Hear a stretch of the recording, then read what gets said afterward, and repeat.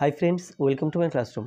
বন্ধুরা, এই ভিডিওতে ক্লাস এইটের রায়মার্টিন প্রশ্নবিচিত্রা দু হাজার চব্বিশ এর অঙ্কের যে মডেল নাম্বার পাঁচ, ব্যারাকপুর গভর্নমেন্ট হাই স্কুলের এক দাগ থেকে পরপর অঙ্কগুলো আমি করব। তো এর আগে যে স্কুলগুলো আছে, তার সমস্ত অঙ্কগুলো বিভিন্ন ভিডিও বানিয়ে আমার চ্যানেলে আপলোড করা আছে, তোমরা দেখতে না থাকলে অবশ্যই দেখো।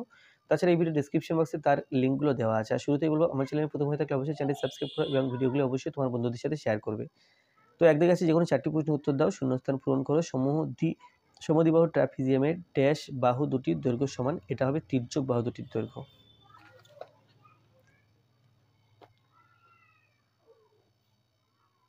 শূন্যস্থানে তির্যক বসবে।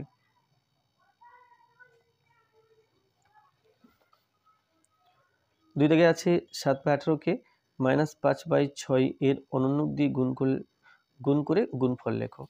তাহলে সাত বাই আচ্ছা সেটা বাদ দিই। আগে মাইনাস পাঁচের ছয়ের অনন্য কত হবে দেখে নিই? মাইনাস পাঁচের ছয় এর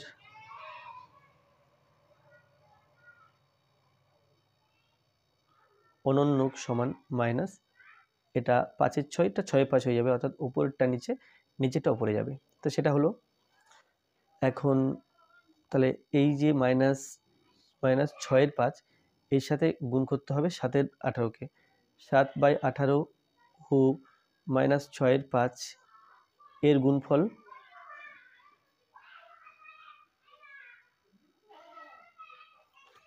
সমান সাত বাই আঠারো ইন্টু মাইনাস ছয়ের পাঁচ সমান এখানে মাইনাস, এখানে প্লাস, তাহলে প্লাসে মাইনাসে, মাইনাস সাত বাই আঠারো ইন্টু এটা হবে ছয় বাই পাঁচ।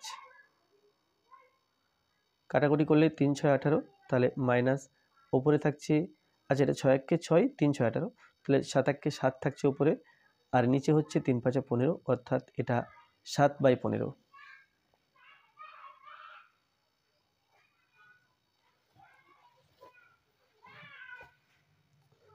সাতাশ কি একটি পূর্ণ ঘনসংখ্যা? কেন? তাহলে সাতাশকে প্রথমে উৎপাদকে ভাঙতে হবে। দেখতে হবে সাতাশের উৎপাদক কী কী বেরোয়। তাহলে সাতাশ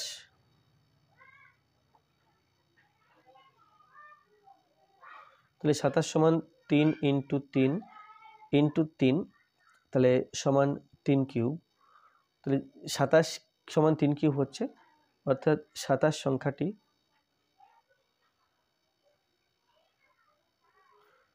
তিনটি তিন এর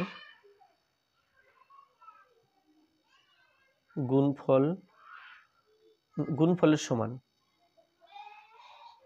সুতরাং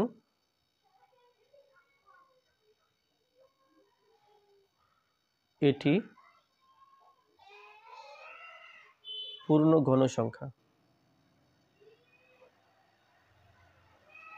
সাতাশ একটি পূর্ণ ঘন সংখ্যা।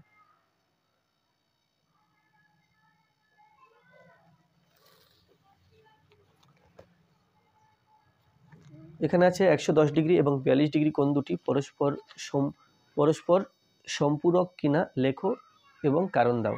তাহলে এখানে আছে একশো দশ ডিগ্রি এবং বিয়াল্লিশ ডিগ্রি। আমরা সম্পূরক কোণ তাকেই বলি, যখন দুটি কোণ যোগ করে একশো আশি ডিগ্রি হয়, তখন একটিকে অপরটি সম্পূরক কোণ বলা হয়। এখানে দেখে বোঝা যাচ্ছে, একশো দশ ডিগ্রি এবং বিয়াল্লিশ ডিগ্রি কোণ দুটি পরস্পর যোগ করে একশো আশি ডিগ্রি সমান হবে না, সুতরাং এরা একে অপরের সম্পূরক কোণ নয়। তবুও এখানে আমরা যোগ করে দেখিয়ে দিতে হবে যে এটা একশো আশি ডিগ্রি হচ্ছে না। তাহলে একশো দশ ডিগ্রি ও বিয়াল্লিশ ডিগ্রি এর যোগফল সমান একশো দশ ডিগ্রি প্লাস বিয়াল্লিশ ডিগ্রি সমান একশো বাহান্ন ডিগ্রি। তাহলে যেহেতু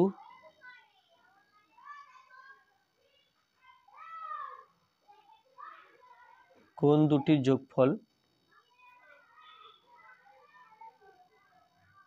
কোন দুটির যোগফল একশো আশি ডিগ্রি এর সমান নয়। সেহেতু ইহারা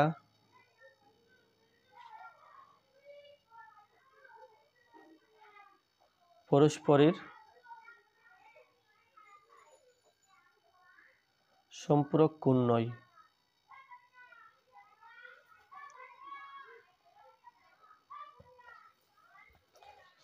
এখানে আছে একটি আয়তক্ষেত্রের একটি আয়তক্ষেত্রের ক্ষেত্রফল চৌষট্টি মাইনাস এক্স স্কোয়ার বর্গমিটার, যেখানে x is greater than zero হলে আয়তক্ষেত্রের দৈর্ঘ্য ও প্রস্থ কত? এখানে একটি আয়তক্ষেত্রের ক্ষেত্রফল চৌষট্টি মাইনাস এক্স স্কোয়ার বলা আছে। তাহলে দেখা যাক যে চৌষট্টি মাইনাস এক্স স্কোয়ার একে উৎপাদকে ভাঙতে পারি কিনা। তো চৌষট্টি মানে আট তার হোল স্কোয়ার লেখা যায় আর এক্স স্কোয়ার মানে এক্স তার হোল স্কোয়ার লেখা যায় অর্থাৎ a square minus b square যে সূত্র আছে, এটা তার অনুরূপ, একই রকম। A square minus b square থাকলে আমরা আমরা যেমন লিখি a plus b into a minus b তেমনি এই আট স্কোয়ার মাইনাস এক্স স্কোয়ার আছে, তাহলে এটাকে আমরা লিখতে পারব eight plus x into eight minus x এটা লিখতে পারব। তাহলে এই চৌষট্টি মাইনাস এক্স স্কোয়ার অ্যাকচুয়ালি এই দুটি দুটি সংখ্যার গুণফল, একটা সংখ্যা এইট প্লাস এক্স আর একটা সংখ্যা এইট মাইনাস এক্স তাহলে আমরা জানি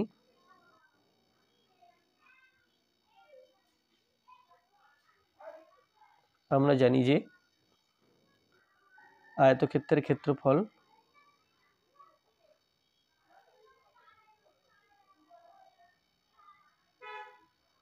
ক্ষেত্রফল সমান দৈর্ঘ্য ইন্টু প্রস্থ। সুতরাং দৈর্ঘ্য সমান এইট প্লাস এক্স মিটার ও প্রস্থ সমান এইট মাইনাস এক্স মিটার। আচ্ছা তাহলে এটাকে কেন দৈর্ঘ্য ধরলাম আর এটাকে কেন প্রস্থ ধরলাম সেটা বলতে হবে। এখানে এইট প্লাস এক্স এটা বড় আর এইট মাইনাস এক্স এটা ছোট। এটা বড় আর এটা ছোট।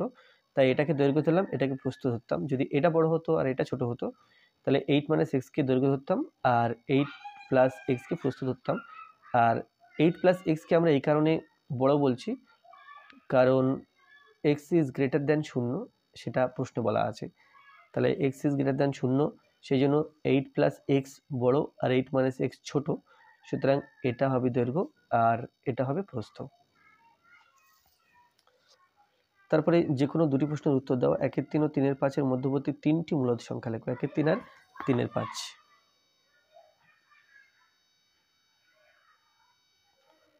একের তিন আর তিনের পাঁচ। এখন এর মাঝখানে মূলত সংখ্যা লিখতে গেলে আমাদের একটা কাজ করতে হবে। এই নিচে তিন আছে, এর নিচে পাঁচ আছে, অর্থাৎ হর তিন, হর পাঁচ, আমরা এই হরের পাটটাকে সমান করার চেষ্টা করব। তারপরে কি আসে দেখি? তাহলে সেই যদি হরের পাটটাকে সমান করতে হয়, পাঁচ প্রথমটার এই যে নিচে পাঁচ আছে, এর উপর নিচে গুণ করব, পাঁচ ইন্টু পাঁচ, আর এর নিচে যে তিন আছে, এই তিন এর উপর নিচে গুণ করব। গুণ করলে ওপর নিচে যেহেতু গুণ করছি, একের তিন ছিল ওপর নিচে একই জিনিস গুণ করলে পাঁচ পাঁচ কেটে দিলে একের তিন, একের তিনই থাকছে, এই ভগ্নাংশটা কিন্তু পাল্টে যাচ্ছে না। তাহলে একের তিনের পরিবর্তে লেখা যাবে পাঁচ এককে পাঁচ বাই তিন পাঁচে পনেরো, এটা লেখা যাবে। আর এখানে লেখা যাবে তিন তিরিককে নয়, আর ওইখানে তিন। তিন তিরিককে নয় আর তিন পাঁচে পনেরো। তাহলে এখন একের তিন এবং তিনের পাঁচ সংখ্যা দুটো থাকলে আমরা এর মাঝখানে সংখ্যা বলতে পারছিলাম না, কিন্তু একের তিন মানে পনেরো বাই, এই পাঁচ বাই পনেরো, আর তিনের পাঁচ মানে নয় বাই পনেরো। এখন আমরা এই পাঁচ বাই পনেরো এবং নয় বাই পনেরো এর মাঝখানের সংখ্যা লিখতেই পারি। তাহলে সুতরাং একের তিন ও তিনের পাঁচ, সংখ্যা দুটির মধ্যে তিনটি মূলদ সংখ্যা। তাহলে পাঁচের পরের সংখ্যা ছয়, সাত, আট, ছয়, সাত, আট। তাহলে ছয় বাই পনেরো, সাত বাই পনেরো আর আট বাই পনেরো লেখাই যায় তাহলে এই সংখ্যাগুলো। এখন এই দুটো ক্ষেত্রে প্রবলেম প্রবলেম নেই, ছয়ের পনেরোর ক্ষেত্রে একটু প্রবলেম আছে। এটা যদি কাটাকুটি করি, তাহলে তিন দিয়ে কাটছে, তিন দুগুণে ছয়, তিন পাঁচে পনেরো, তাহলে এই ছয়ের পনেরো ছয়ের পনেরো, এটাকে লেখা যাবে বা দুইয়ের পাঁচ, সাতের পনেরো ও আট বাই পনেরো। তাহলে এই তিনটে সংখ্যা মূলত সংখ্যা যেটা একের তিন এবং তিনের পাঁচের মধ্যে আছে। দুই দাগে বলা আছে, দুটি বর্গের সমষ্টি রূপে প্রকাশ করো। এই সংখ্যাটা দেওয়া আছে, দুটি বর্গের সমষ্টিরূপে প্রকাশ করতে হবে। তো দুটি বর্গের সমষ্টি বলতে দুই, মাঝখানে প্লাস চিহ্ন থাকবে এবং দুই দিকে দুটো বর্গ সংখ্যা থাকবে, অর্থাৎ কোনো কিছু হোল স্কোয়ার দিতে হবে।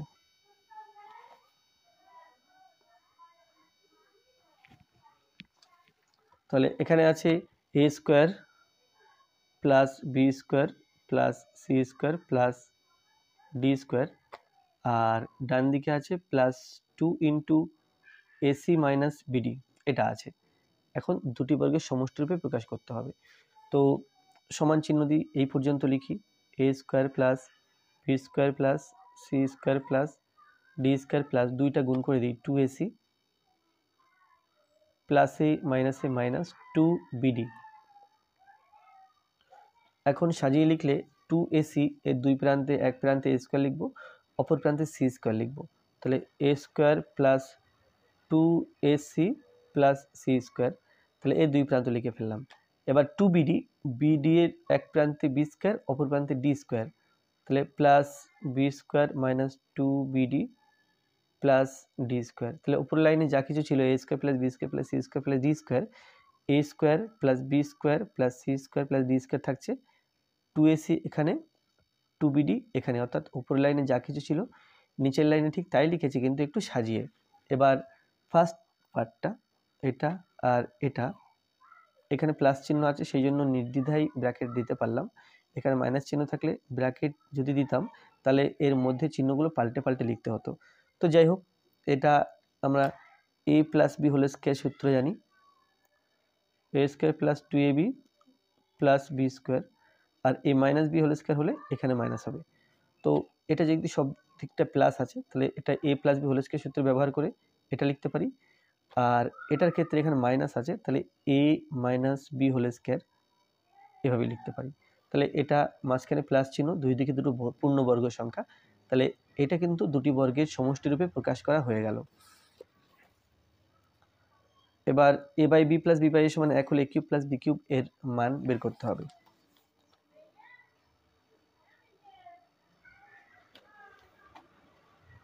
A by b plus b by a a by b plus b by a এটা is equal to one b এবং এ এর লসাগু এ বি বি দিয়ে ভাগ করলে বিবি কাটছে এ থাকছে এ এর সাথে এ এর গুণ, তাহলে হয়ে গেল এ স্কোয়ার এ দিয়ে ভাগ করলে এ এ কেটে যাচ্ছে, থাকছে বি বি এর সাথে বি এর গুণ, হয়ে গেল বি স্কোয়ার সমান এক.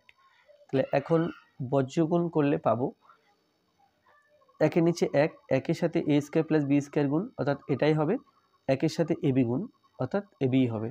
তাহলে a square plus b square সমান এ বি, এবার সব সংখ্যাগুলোকে বাদিকে আনলে a square minus a b plus b square হলো, আর ডান দিকে থাকছে শূন্য।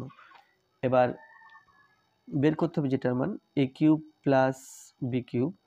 A cube plus b কিউবের সূত্র আমরা জানি, a plus b into a square minus a b plus b square সমান b into a square minus a b plus b square a square minus a b plus b square এটা সমান শূন্য বেরিয়েছিল, এখানে শূন্য বসাতে হবে, তাহলে এর মান শূন্যই।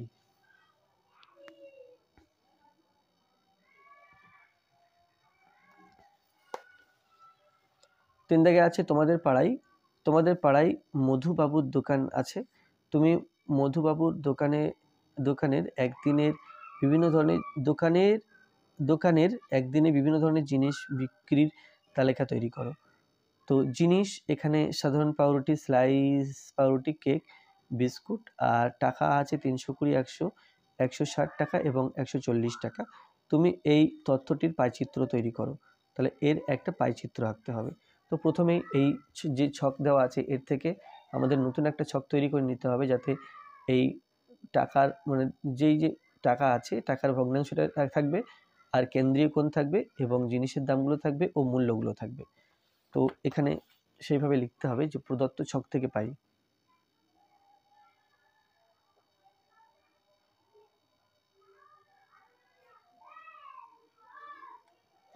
প্রদত্ত ছক থেকে পাই বলে এখানে একটা আবার একটা নতুন ছক তৈরি করলাম।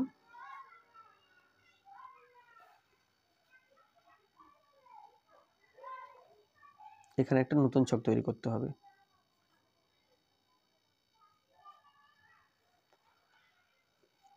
নতুন ছকের উপরে ভাগগুলো এইভাবে করি।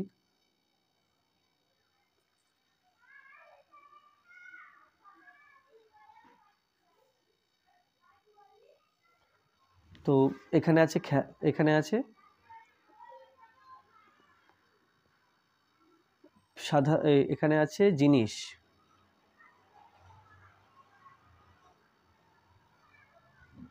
জিনিসের মধ্যে সাধারণ পাউরুটি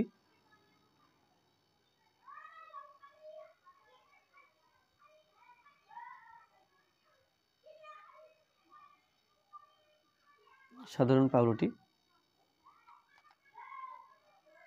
তারপরে আছে স্লাইস পাউরুটি।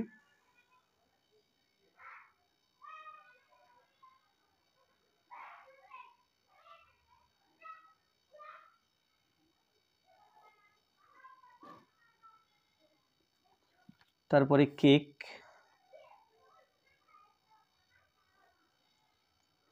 তারপরে আছে বিস্কুট তারপরে আছে মোট। তাহলে জিনিসগুলো লেখা হলো, এবার এখানে লিখব কি মূল্য? মূল্যটা অবশ্যই টাকাতে।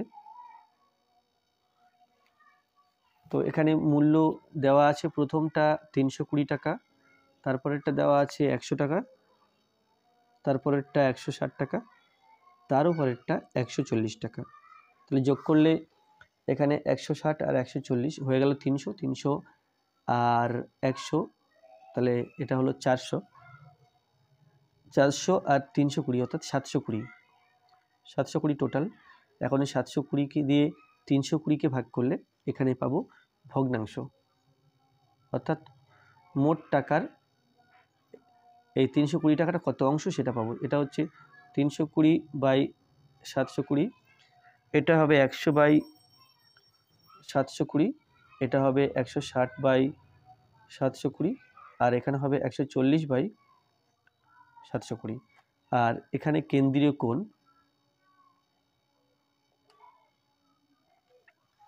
কেন্দ্রীয় কোণ হবে তিনশো কুড়ি বাই সাতশো কুড়ি ইন্টু তিনশো ষাট ডিগ্রি, কারণ একটা বৃত্তে, বৃত্তের কেন্দ্রে বৃত্ত, টোটাল বৃত্তের পরিধি তিনশো ষাট ডিগ্রি কোণ তৈরি করে। তাই এটা তিনশো ষাট ডিগ্রি লিখলাম। এখন এটা আর এটা কেটে দুই দুই আর তিনশো কুড়ি, এটা হয়ে গেল একশো ষাট। তাহলে প্রথমটা একশো ষাট ডিগ্রি এখানে হবে একশো বাই সাতশো কুড়ি ইন্টু তিনশো ষাট ডিগ্রি কাটাকুটি করে দুই, আর এখানে পঞ্চাশ। তাহলে সমান পঞ্চাশ ডিগ্রি এখানে হচ্ছে একশো ষাট বাই সাতশো কুড়ি ইন্টু তিনশো ষাট ডিগ্রি।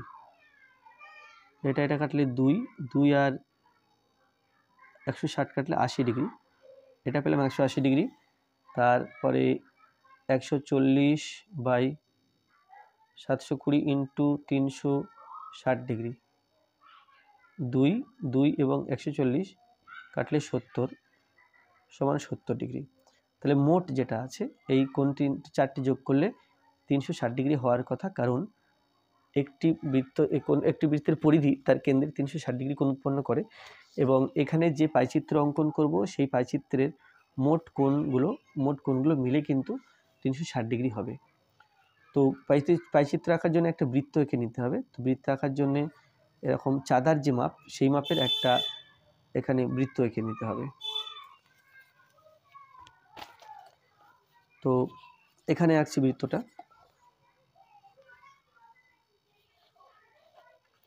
আগে এর কেন্দ্র নির্দিষ্ট করে নিলাম। এখন এই প্রান্তে যেখানে শুরু, এখানে একটা ডট দিলাম। আর এই প্রান্তে যেখানে শুরু, সেখানে একটা ডট দিলাম এবং এর আপার পার্টটা বৃত্তে যে আপার পার্ট অর্থাৎ উপরে অর্ধবৃত্ত এঁকে নিলাম। আর এই কেন্দ্রে কেন্দ্র বসিয়ে এবং দুই প্রান্ত বিন্দু ওই মিলিয়ে ওখানে, এইভাবে নিচে যে অর্ধবৃত্ত, সেটা অঙ্কন করলাম। তো হয়ে গেল। এখন কেন্দ্রের সাথে একটা বিন্দু, যে কোনো বিন্দু কেন্দ্রের উপরে, এই বৃত্তের উপরে যে কোনো বিন্দুকে যুক্ত করলাম, তাহলে এখান থেকে কোন মাপা শুরু হবে। এখন এখানে যে মাপগুলো বলা আছে, কোণের মাপগুলো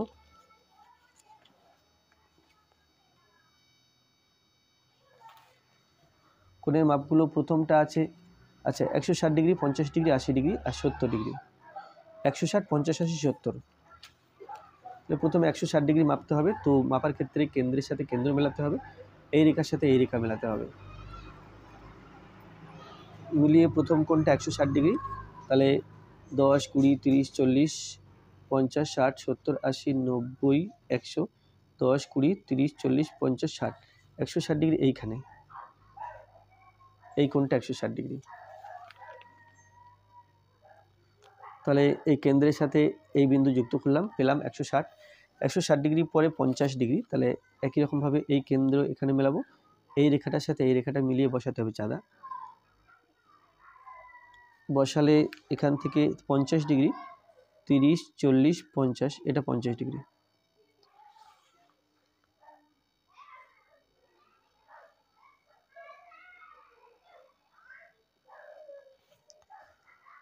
পঞ্চাশ ডিগ্রি হলো, এবার আশি ডিগ্রি আছে, তাহলে ঠিক একই রকমভাবে এখানে বসিয়ে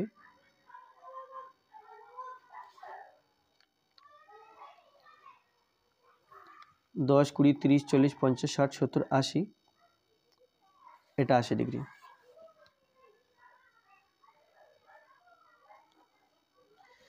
এটা আশি ডিগ্রি আর বাকিটা সত্তর ডিগ্রি, এ বাকিটা এটা সত্তর ডিগ্রি তারপরে এটা আছে একশো ষাট ডিগ্রি, এটা আছে পঞ্চাশ ডিগ্রি আর এটা আশি ডিগ্রি। তাহলে এটা যে একশো ষাট ডিগ্রি, এটা সাধারণ পাউরুটির জন্য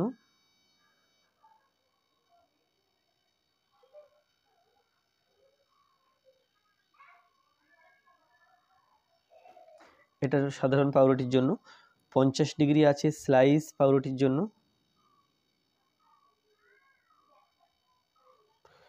স্লাইস পাউরুটি।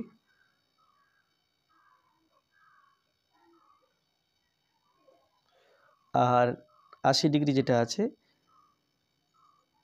পঞ্চাশ ডিগ্রি পর আশি ডিগ্রি, এটা কেকের জন্য। তারপরে সত্তর ডিগ্রি আছে বিস্কুটের জন্য।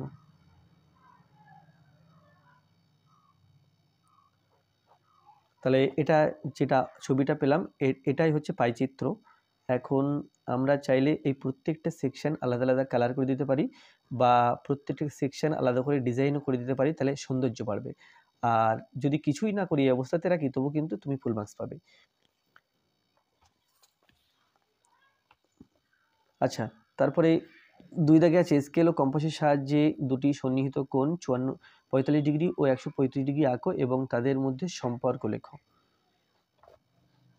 তাহলে স্কেল ও স্কেল ও কম্পাসের সাহায্যে পঁয়তাল্লিশ ডিগ্রি কোণ ও একশো পঁয়ত্রিশ ডিগ্রি কোণ আঁকতে হবে। এটা তিনের দুই। তাহলে এটা আঁকার জন্য প্রথমে একটা সরল রেখা নিয়ে নিতে হবে আর এইদিকে সরলরেখা নিয়ে নিলাম একটা। এটা একটা সরলরেখা নিয়ে নিলাম। তো এর মাঝামাঝি জায়গাতে যে কোনো একটা বিন্দু, এটা ও বিন্দু নাম দিলাম। ও, এখানে এ নাম দিলাম। আর এখানে বি নাম দিলাম। ও এ ও বি এখন যে এ বিন্দু আছে এ বিন্দু এ বিন্দুতে যদি একদিকে পঁয়তাল্লিশ ডিগ্রি কোণ আঁকি, অপর দিকটা অটোমেটিক্যালি একশো পঁয়ত্রিশ ডিগ্রি হয়ে যাবে। তো পঁয়ত্রিশ ডিগ্রি, পঁয়তাল্লিশ ডিগ্রি কোণ আগে এঁকে ফেলি, আমি এই বাদিকে আঁকছি, বরং বাদিকে আঁকাটা সুবিধা হবে।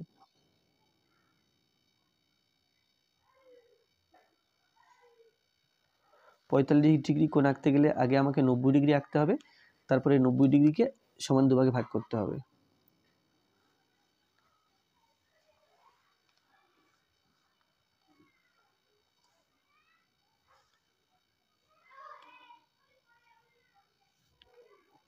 তাহলে এই যে বিন্দু পেলাম, এর সাথে এই বিন্দু যুক্ত করলে নব্বই ডিগ্রি কোণ পাওয়া যাবে। এটা হয়ে গেল নব্বই ডিগ্রি কোণ। এখন এর এই নব্বই ডিগ্রিকে দুভাগে ভাগ করলে পাবো পঁয়তাল্লিশ ডিগ্রি কোণ। তো তার জন্য এখানে কম্পাস বসিয়ে একটা বৃত্তচাপ আঁকলাম, আর এখানে কম্পাস বসিয়ে আর একটা বৃত্তচাপ আঁকলাম। যেভাবে কোণকে সমদ্বিখণ্ডিত করে, সেভাবেই এই নব্বই ডিগ্রি কোণকে সমদ্বিখণ্ডিত করতে হবে। আর এই যে বিন্দু পেলাম, এর সাথে এই কৌণিক বিন্দু যোগ করলে আমরা দুই দিকে দুটো পঁয়তাল্লিশ ডিগ্রি করে কোণ পাবো। যুক্ত করলাম। এখন এ ও বি এটার নাম দিলাম সি আর এটার নাম দিলাম পি তো এখন এখানে অনেকগুলো কোণ তৈরি হয়েছে, কিন্তু আমাদের দরকার পঁয়তাল্লিশ ডিগ্রি কোণ, এটা পঁয়তাল্লিশ ডিগ্রি কোণ। আর এই পুরো কোণটা আচ্ছা এখান, এটা লম্ব ছিল, তাহলে এই সাইডটা নব্বই ডিগ্রি আর এই সাইডটা পঁয়তাল্লিশ ডিগ্রি, তাহলে হয়ে গেল, এই সাইডটা নব্বই ডিগ্রি আর পঁয়তাল্লিশ ডিগ্রি হয়ে গেল একশো পঁয়ত্রিশ ডিগ্রি। তাহলে কোণ এ ও সি সমান পঁয়তাল্লিশ ডিগ্রি। আচ্ছা এই সাইডে কোনটা? কোন সি ও পি সমান পঁয়তাল্লিশ ডিগ্রি। কোন বি ও পি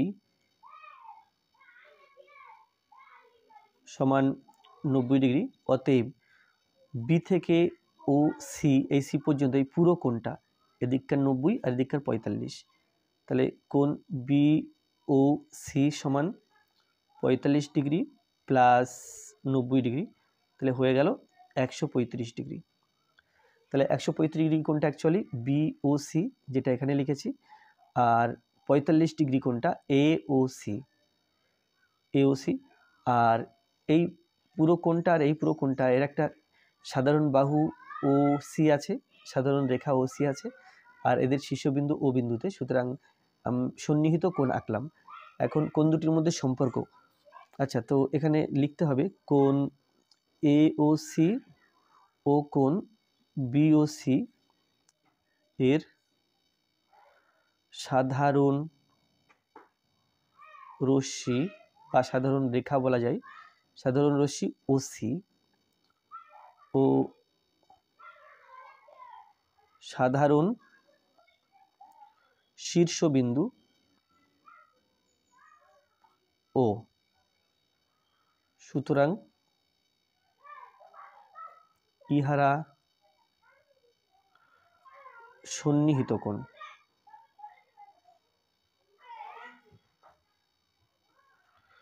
আচ্ছা কোন এওসি প্লাস কোন বিওসি অর্থাৎ সন্নিহিত কোণ দুটো যোগ করছি। কোন এওসি পঁয়তাল্লিশ ডিগ্রি প্লাস কোন বিওসি এটা একশো পঁয়ত্রিশ ডিগ্রি। তাহলে যোগ করে হলো একশো আশি ডিগ্রি, কারণ একশো পঁয়ত্রিশ আর এখানে পঁয়তাল্লিশ। যদি যোগ করি পাঁচ পাঁচ দশ শূন্য হাতে এক চার সাত আর একে আট, একশো আশি ডিগ্রি। তাহলে একশো আশি ডিগ্রি হলো, সুতরাং পঁয়তাল্লিশ ডিগ্রি ও একশো পঁয়ত্রিশ ডিগ্রি কোন দুটি, আমরা জানি দুটি কোণ যোগ করে যদি একশো আশি ডিগ্রি হয়, তাহলে কোন দুটি হয় পরস্পর সম্পূরক কোণ। পরস্পর সম্পূরক কোণ। এটাই হলো তাদের মধ্যে সম্পর্ক। তিনের দুই দাগ হলো, এবার চার দাগ উৎপাদক বিশ্লেষণ করে যে কোনো একটি, এটা করতে হবে আর এটা করতে হবে।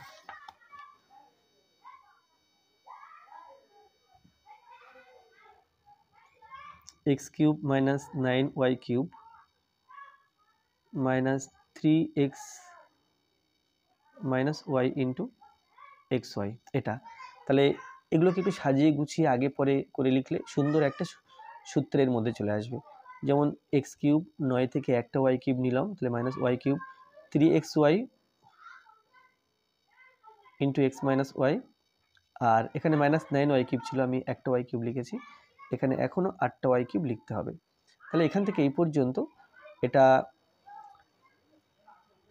এটা হচ্ছে এ মাইনাস বি হোল কিউবের সূত্র যেটা আমরা জানি। A cube minus b cube minus three a b into a minus b এটা সূত্র। তাহলে এ জায়গাতে এক্স আছে বি এর জায়গাতে ওয়াই আছে। তাহলে এখানে আমরা লিখতে পারি এক্স মাইনাস ওয়াই তার হোল কিউব মাইনাস এখান থেকে এই পর্যন্তর পরিবর্তে এটা লিখলাম। আর এইট ওয়াই কিউব যেটা আছে, এটা টু ওয়াই তার হোল কিউব লিখছি। তাহলে পুরোটাকে এ আর এই পুরোটাকে বি ভাবলে a cube minus b cube সূত্রে আবার ভাঙতে হবে। তাহলে a cube minus b cube সূত্রটা a minus b into a square plus a b plus b square এটা। তাহলে সেই সূত্রে এটাকে ভেঙে দিতে হবে। তাহলে এখানে এ হলো minus b into a square plus a b plus b square তাহলে এখানে এর জায়গাতে এক্স মাইনাস ওয়াই আর বি এর জায়গাতে টু ওয়াই সমান এক্স মাইনাস ওয়াই আর মাইনাস টু ওয়াই হয়ে গেল এক্স মাইনাস থ্রি ওয়াই তারপরে a minus b whole square সূত্রে এটাকে ভাঙলে a square minus two a b plus b square plus two y এবং এক্স তাহলে two x y plus a minus a minus two y এবং Y গুণ করলে two Y square plus দুই দুগুণ চার ওয়াই স্কোয়ার সমান এক্স মাইনাস থ্রি ওয়াই এখানে x square two x y two x y কেটে কেটে যাচ্ছে। তাহলে এক্স স্কোয়ার হলো আর plus y square minus two y square হলো মাইনাস ওয়াই স্কোয়ার তার সাথে প্লাস ফোর ওয়াই স্কোয়ার তাহলে মাইনাস ওয়াই স্কোয়ার এবং প্লাস ফোর ওয়াই স্কোয়ার অর্থাৎ মাইনাস ওয়ান প্লাস ফোর এটা সমান প্লাস থ্রি তাহলে এখানে প্লাস থ্রি ওয়াই স্কোয়ার এর, এটা উত্তর।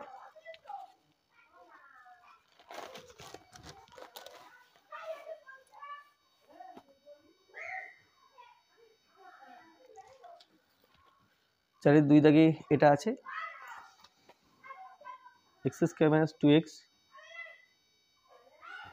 minus y square plus two y সমান একটু সাজিয়ে লিখলে minus y square minus two x plus two y তাহলে এ স্কোয়ার এটা এইভাবে একটু ভাবলে a square minus b square সূত্র যেটা হলো a plus b into a minus b এই দুটো পদ থেকে মাইনাস টু কমন নিলে এক্স মাইনাস ওয়াই থাকছে। এক্স মাইনাস ওয়াই দুই জায়গাতে আছে, এটা কমন নেব, তাহলে পড়ে থাকবে x plus y minus two এটা। তাহলে এটাই ছিল আজকে ভিডিও লাস্ট অঙ্ক ভিডিওটি ভালো লাগলে অবশ্যই লাইক করবে, কোনো প্রশ্ন থাকলে কমেন্টে জানাবে, আর আমার চ্যানেলে প্রথম হয়ে থাকলে অবশ্যই চ্যানেলটি সাবস্ক্রাইব করবে, এবং ভিডিওগুলো অবশ্যই তোমার বন্ধুদের সাথে শেয়ার করবে। তাছাড়া কী ধরনের ভিডিও পেতে চাও বা কোন চ্যাপ্টারের উপর ভিডিও পেতে চাও, সেটাও কমেন্টের মাধ্যমে জানাও, তাহলে তোমাদের পছন্দ অনুযায়ী ভিডিও আপলোড করা হবে। ধন্যবাদ।